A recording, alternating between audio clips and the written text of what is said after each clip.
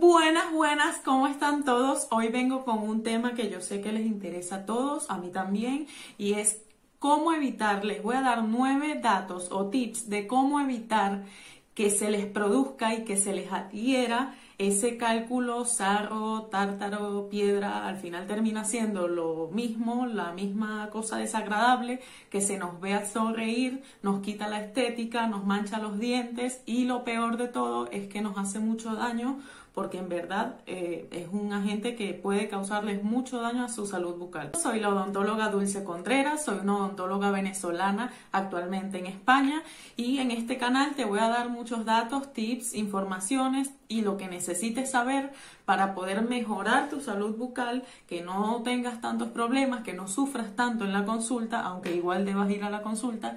Y pues nada, si te interesa mejorar tu salud bucal y al mismo tiempo informarte de muchas cosas que seguramente no vas a saber, pues te invito a que te suscribas y que bueno, que más nada, continuemos con el video.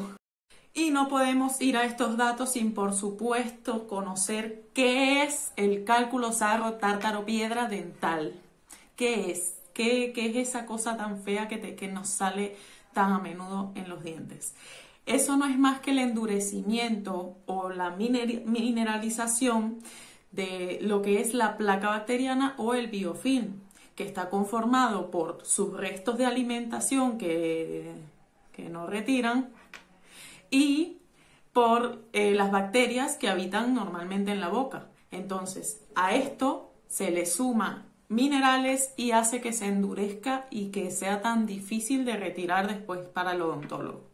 Luego comienza lo que es la enfermedad periodontal, que son la gingivitis y la periodontitis, que a, a lo largo de todo el proceso de enfermedad pueden, puede hacer que pierdan los dientes.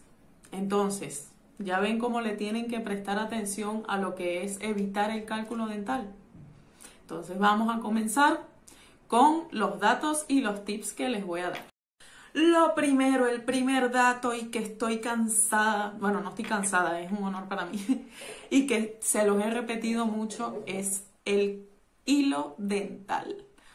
Usen el hilo dental. Ahorita hay tantas facilidades para usarlos. Les dejé un, les dejé un video donde les explico cómo usarlo más prácticamente les explico, ahorita hoy en día hay tantas maneras de usarlo tan fácil con los que vienen con un manguito, eso les da la facilidad de no tener que cortar, que, que mm, la técnica, que no sé qué. Es muy accesible ahora utilizar hilo dental y es necesario para, para limpiar todos esos restos que quedan entre nuestros dientes atrapados y que el cepillado, por muy bien que lo hagamos, no lo va a quitar. Ven acá, ven acá para decirte algo.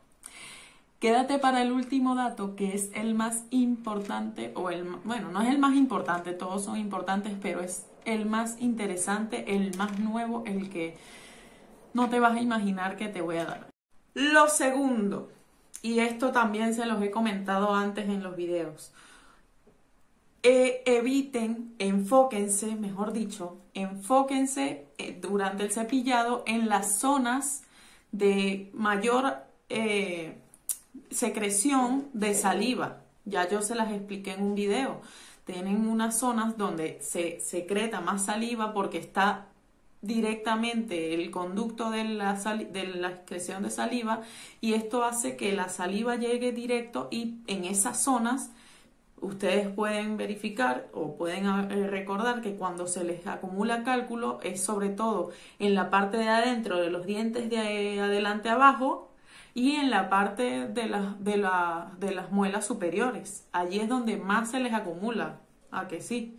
Y eso es por lo mismo, porque por ahí sale directamente la excreción, la secreción de la saliva y esto hace que le deje mucho, mucho calcio a, a, la placa bacteriana y haga que se adhiera más rápido a los dientes que en las otras zonas comunes. Reduce lo que más puedas los productos lácteos de tu dieta. Eh, queso, eh, leche, todo lo que contenga calcio, el calcio, la mayor reserva de calcio está en la saliva.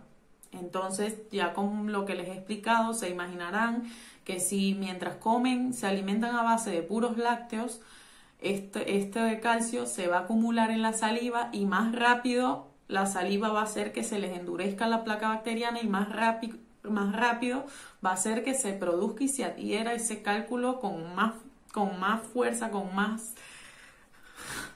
Y con esto vamos al número 4, que es que les aconsejo que consuman o eleven el consumo de alimentos que ayudan a la salud bucal, que ayudan a evitar que se adhiera el cálculo dental y está demostrado y esto les voy a dar un ejemplo, puede ser la manzana o zanahoria cruda. En quinto lugar, te recomiendo que no dejes de usar enjuague bucal. Ya yo en un video también les expliqué que cómo pueden escoger su enjuague bucal comercial. Hay, hay, muchos enjuagues bucales naturales que pronto también les iré contando, pero no importa si no tienen enjuague comercial y, si no saben todavía cómo hacer uno natural o casero. Lo importante es que se enjuaguen, lo importante es que, que muevan las, las bacterias en la boca, que muevan todo eso que tienen en la boca para que Así remuevan todo y eviten que se adhiera al diente, porque la cosa es que el problema es que dejamos que, que, eso haga ahí lo que le dé la gana y se adhiera muy rápidamente. Entonces, utilicen enjuague bucal, aunque por lo menos 30 segundos de enjuague. Eh, da igual antes o después del cepillado, preferiblemente después, después del cepillado y del hilo dental que se hagan un enjuague muy profundo de 30 segundos, como si fuera una lavadora ahí adentro, para que luego lo expulsen y así hayan removido todas esas bacterias que pueden haber quedado, todos esos restos que pueden haber quedado. Usen el enjuague bucal, así sea con agua. Lo importante es que revuelvan todas esas bacterias que hacen lo que les dé la gana en su boca. El tip o dato número 6. El cepillo dental como ya he dicho, está demostrado que es preferible que tenga el cabezal chiquito. Sí, mientras más chiquito, mejor. Aparte de esto, les voy a recomendar el cepillo eléctrico. Los que tengan acceso a poder comprar un cepillo eléctrico o preferiblemente, de hecho, sónico, que haga vibraciones mientras ustedes hacen su técnica de cepillado, esto ayuda mucho a que las bacterias no se adhieran y que, y que podamos expulsarlas con más facilidad. El séptimo dato que te doy, ya casi llegamos al final, el séptimo es un producto que yo sé porque yo vengo de allá y en Venezuela nadie utilizaba eso y estoy segura que en la mayoría de Latinoamérica no se utiliza y no sé por qué no lo valoran si es tan tan bueno es el Waterpik o el irrigador bucal, que el es sobre todo una marca comercial, pero es la más popular, entonces por eso la menciono. Waterpik o irrigador bucal es un producto buenísimo y espectacular que puede incluso, eh, es que puede evitarte todo porque es como una pistolita, es literal, como el del odontólogo, cuando van al odontólogo, la jeringa que expulsa aire y que expulsa agua, que uno les va a decir, te voy a echar aire, te voy a echar agua, es idéntico a ello y ustedes se lo pasan por... eso es muy accesible. El que tenga posibilidad de comprárselo, hágalo porque así pueden expulsar, imagínense que pasen por todos los entredientes y puedan con ello expulsar todo lo que queda entre cada diente. El octavo dato que te doy es el uso del bicarbonato de sodio. Sí, ese bicarbonato que el pobre lo utilizan como trapo de cocina para todo. Y es que es muy bueno, tiene muchas propiedades que ayudan a la salud bucal y ya está demostrado. Más adelante les haré un video solo del bicarbonato de sodio también. Pero en este caso les voy a dar una receta que les puede funcionar.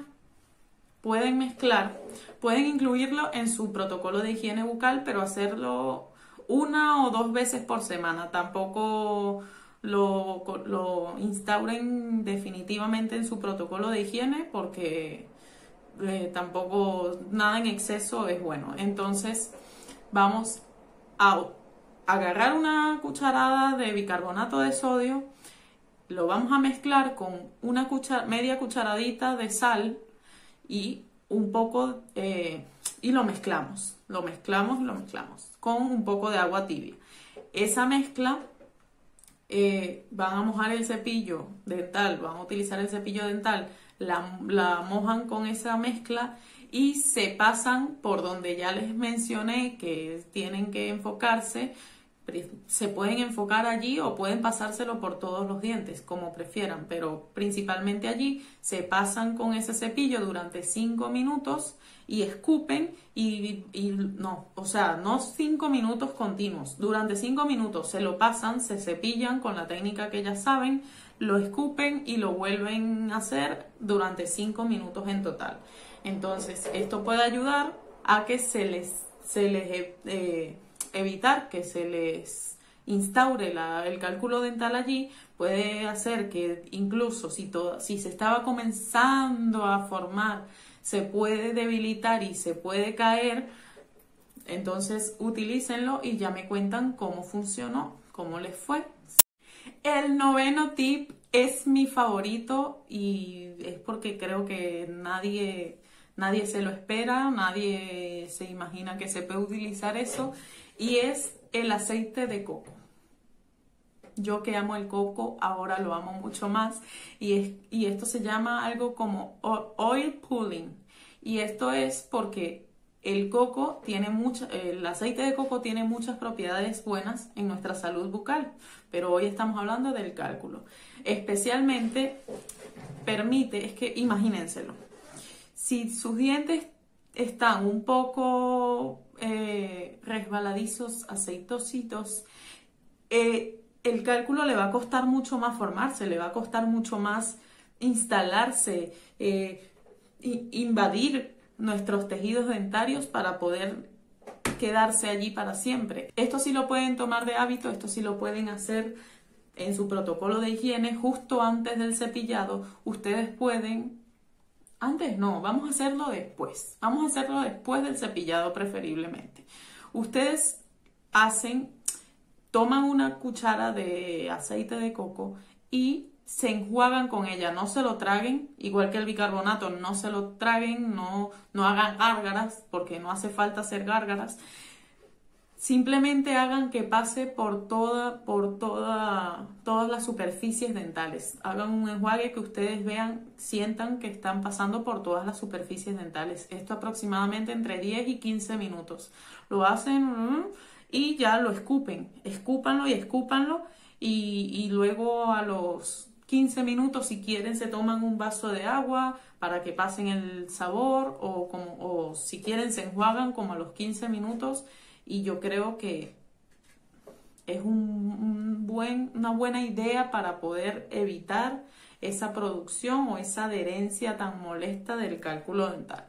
Entonces ustedes lo pueden probar en su higiene diaria y ya me van contando si de verdad sienten que les está haciendo efecto, que al tiempo lograron que bajara la producción de cálculo en sus dientes y pues sería maravilloso que me lo comentaran para yo ser muy feliz con los datos que les doy.